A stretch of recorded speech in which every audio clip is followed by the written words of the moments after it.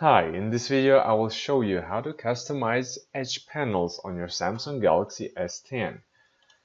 First of all, swipe down from the top of the screen. Go to Settings. Tap Display.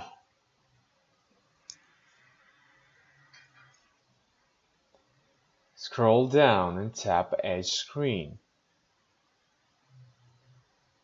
Then tap Edge Panels.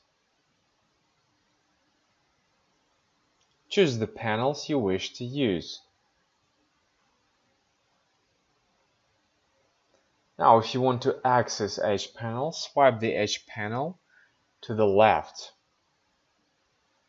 Keep swiping the screen to the left until you reach the panel you wish to view.